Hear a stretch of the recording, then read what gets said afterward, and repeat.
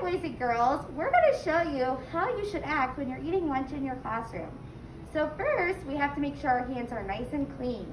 So I'm gonna use hand sanitizer and give my friends some a squirt so that they are nice, clean, and healthy before they eat.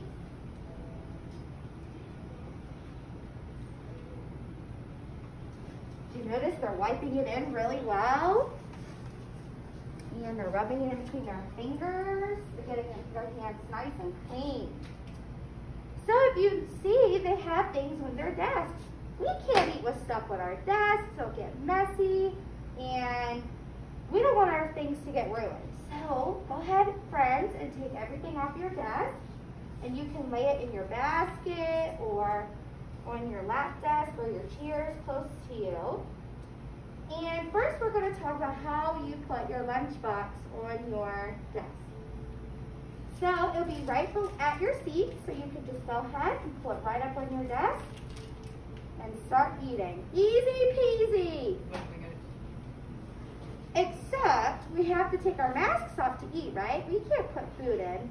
So once you start eating your food, you can take off your mask. Make sure you grab it by the ear loops and um, lay it right there at your desk.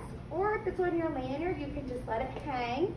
That way, um, you don't lose it and it's right there. If you're buying lunch, it's going to be brought to you. So you'll stay right at your seat. You don't need to get up. And um, the teachers or the aides um, will bring them your food to you. So walk right on over. And I'm going to give Mr. Hank his food.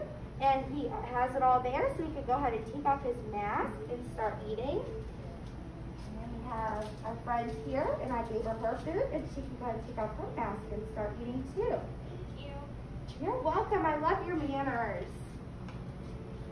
All right. Yes, friend. I can't get my fruit snacks open. Oh, okay, no problem. If you have any questions while you're eating, just raise your hand. That was a great way to ask for help. We should never scream and throw our hands up to try to get our friends' attention because that's just crazy. All right. So, now let's pretend we're all done eating. Um, So- in your bag. So any leftover trash that you have will go in your bag. So all of our friends who are packing can go ahead and put all of that stuff in their bag, their um, lunch box, and then you can put it down underneath of your seat.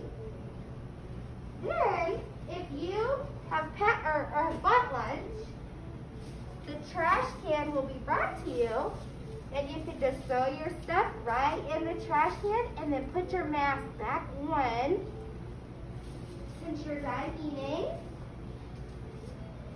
You're welcome. And then we want to keep those hands clean so we can stay healthy. So we're going to do another squirt of hand sanitizer after lunch. Get all those germs off of our hands. So we're ready to learn. And that, friends, is how you eat lunch in the classroom.